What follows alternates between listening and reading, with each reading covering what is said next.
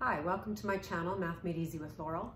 I'm Laurel, and in this video we're going to talk about moments of inertia of volumes.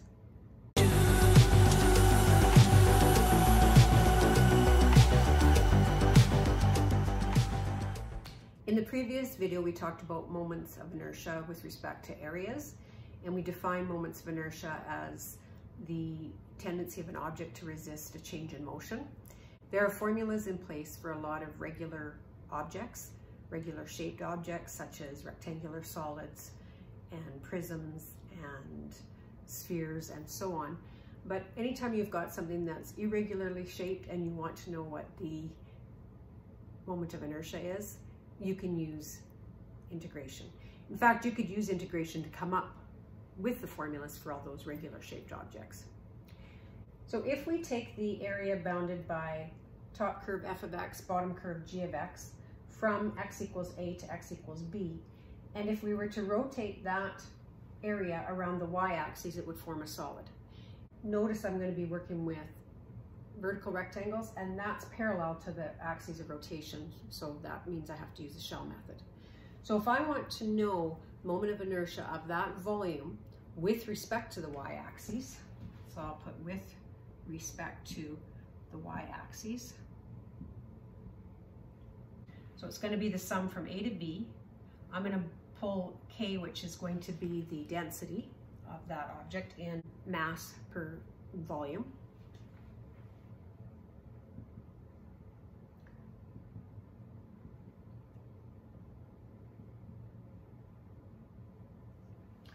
I'm going to multiply by the volume that's formed by that rectangular solid when it rotates around, which is a shell. And the volume of a shell is 2 pi times the radius. So the radius will be this distance x. That's how far that shell will be from the axis of rotation. So that'll be the radius. Times the height. The height can be defined as f of x minus g of x times the thickness, which is dx, but I'll put that out here because now I have to multiply by the distance to the y-axis squared, so x squared. So this gives me the mass, this is multiplied by the distance squared. Now I'm just gonna clean this up a little bit, bring all my constants out front. So that will be 2 pi k times the integral from a to b, x times x squared would give me x cubed, times f of x minus g of x dx.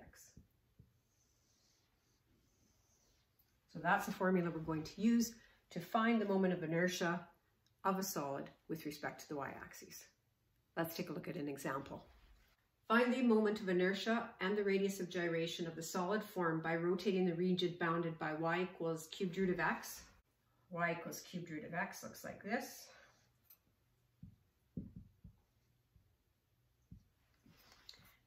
x equals 8 centimeters,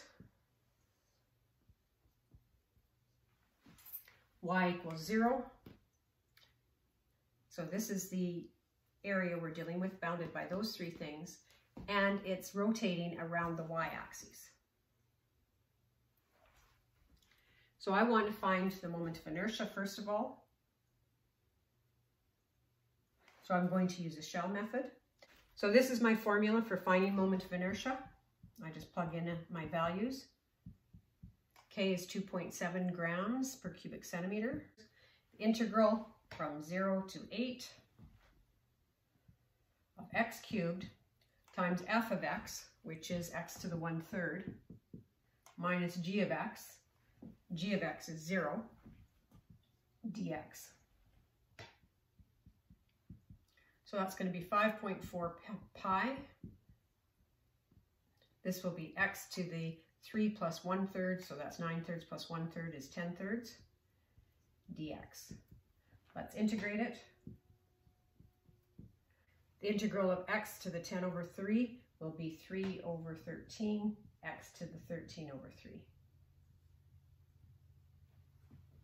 Now we're going to evaluate it. When I plug this into my calculator, I get a value of 32,071. My unit for my mass is grams times the unit for the distance is centimeters, so it'll be square centimeters. So that's the moment of inertia with respect to the y-axis. Let's find radius of gyration, and in order to do that, I need to find the mass, and in order to do that, I need to find the volume. Now there's two options for finding this volume. I could use the shell method and use vertical rectangles, or I could use horizontal rectangles and use the washer method. My advice is use the same method you use to find moment of inertia. We're already working with a vertical rectangle. We don't want to change and write everything in terms of y now. So I'm going to use vertical rectangles rotating around a parallel axis. So I'm using a shell method for finding that volume. The formula for volume using the shell method is 2 pi times the integral from a to b of the radius, which is x, times the height, which is cubed root of x, minus 0 dx. Simplify it. So that will be x to the 4 thirds. And then integrate it. So that's going to be 7 x to the 7 thirds divided by 7 thirds, so 3 sevenths, x to the 7 thirds. And I get a volume of 344.68 cubic centimeters. Now I want to find mass.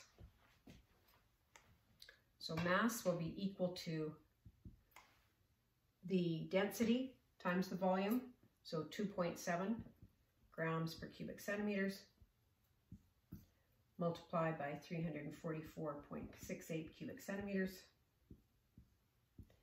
and we get a mass of 930.63 grams.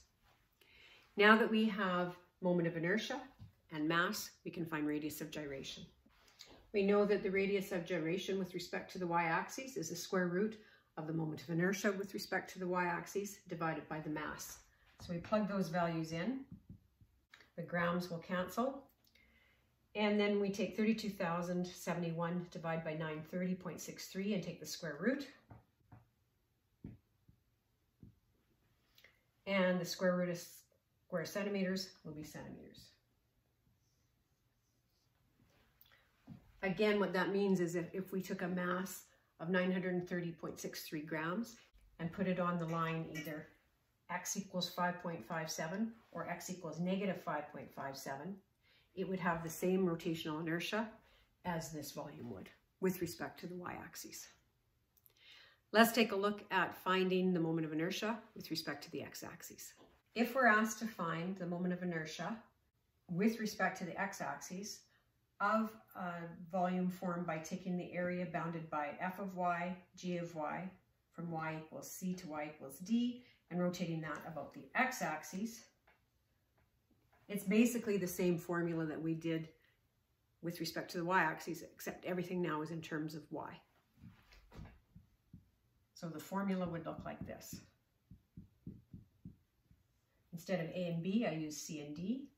Instead of x cubed, we'll have y cubed and it'll be f of y minus g of y rather than f of x minus g of x dy. So there's the formula that we're going to use. This example is almost the same as the previous example. We have the region bounded by the same curves, y equals cubed root of x, x equals 8, y equals 0. But this time it's about the x-axis. Now we're, we're finding the moment of inertia with respect to the x-axis. We're going to use the shell method. So we're going to use horizontal rectangles, which means I need to write this as a function of y. So x will equal y cubed. I'm going to use that function. And I need to know my y values. So instead of 0 and 8, I'm going to use 0 and when x is 8, y is the cubed root of that, so y will be 2. So I'm not using that value, I'm using 0 and 2 and I'm using this function. So when I plug into my formula,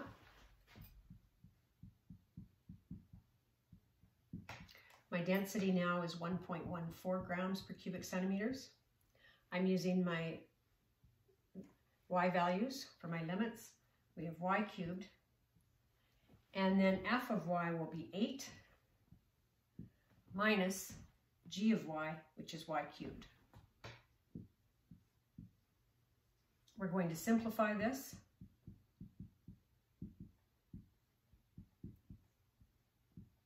That's going to be 8y cubed minus y to the sixth.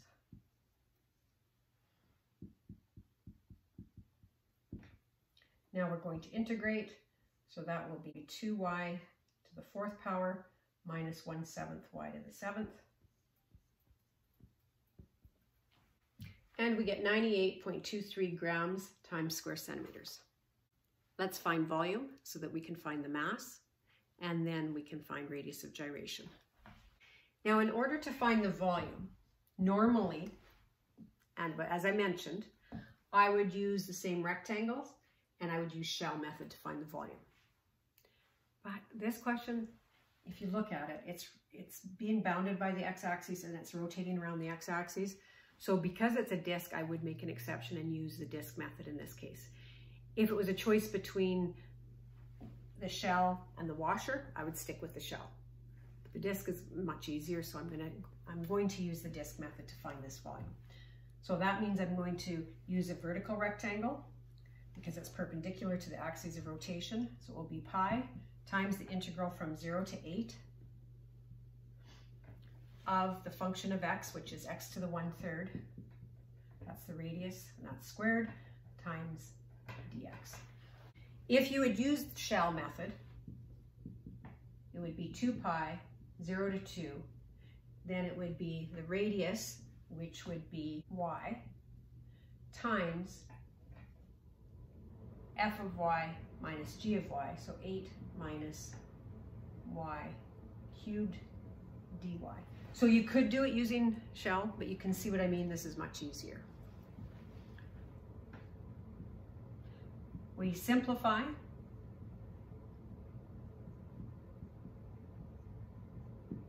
And then we integrate. So that's going to be x to the 5 thirds, so it'll be 3 fifths, x to the 5 thirds. And when we evaluate this, we get 60.32 cubic centimeters. So our mass will be equal to that volume times the density